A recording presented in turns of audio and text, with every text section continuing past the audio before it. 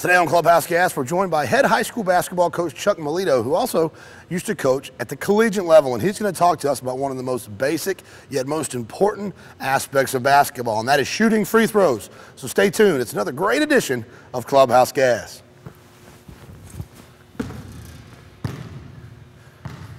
Bank, you heard me call bank, didn't you?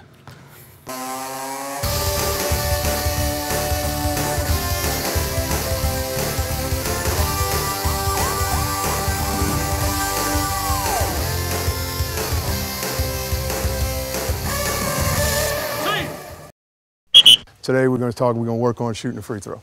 Okay, so what we want to do is we want to work on our approach, what we feel is the mental approach, okay, as well as the physical approach. Okay, what I need you to do is step up first.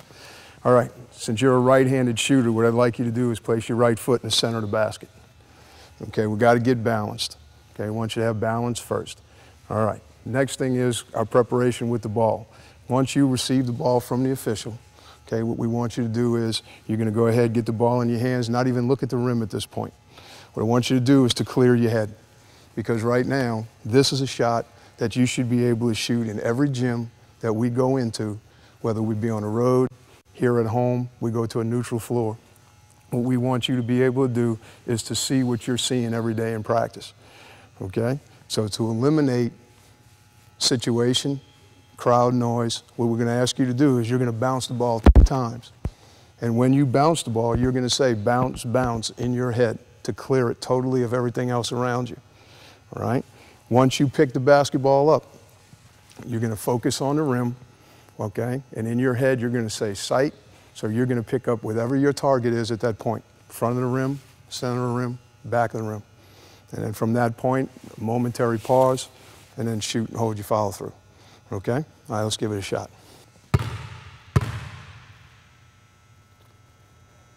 Pretty good. Pretty good.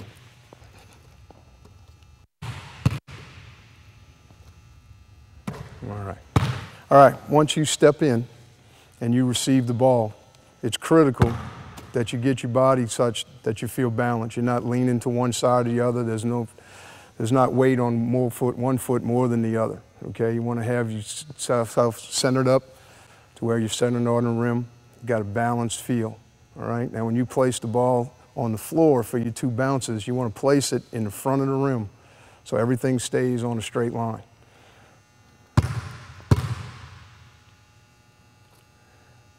All right. Now, notice that the elbow stays underneath the basketball. The elbow is what keeps the ball straight. So now when you pick it up, okay, you're going to pick it up in the same place every time. Wrinkles in your wrist to know that the ball's flat in your hand. All right. And then you want to go ahead and you're going to lift the elbow up through the ball and then hold your follow through so that you got good tight, not too tight a rotation, but you still want to have rotation on the ball. Okay? Backward rotation. Go ahead, try it again. Got, notice he's got balance. Everything's in front of the rim and hold the follow through. Okay? Nice and soft. Okay? Because of the backspin, the ball stayed straight. Okay? Stayed straight up and down when it hit the rim. Okay? Try going to the back of the rim now instead of the front of the rim.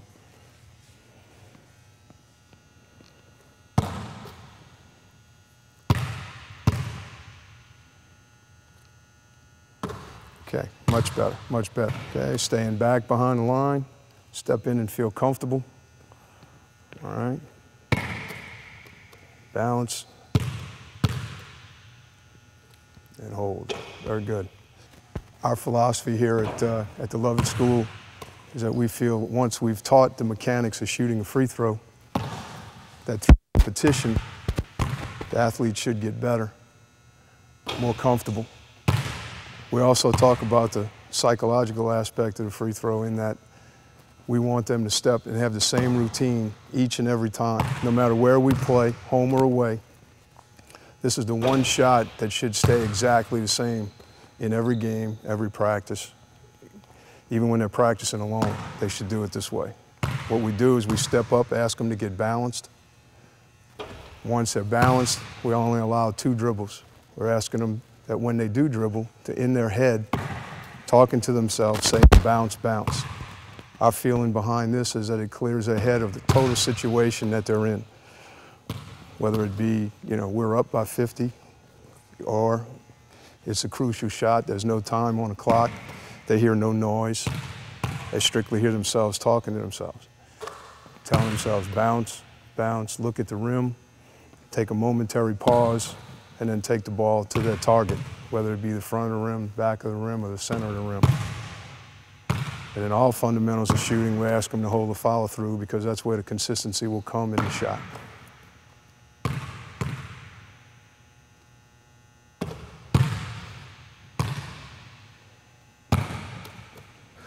Are some great tips, Coach. We really appreciate it. Hopefully, you at home can take those tips and apply it to your child or your team's life and make you a more effective shooter of the free throw. For me, however, I'm a lineman. Linemen like to keep it old school. We'll see you right back here tomorrow on Clubhouse Gas.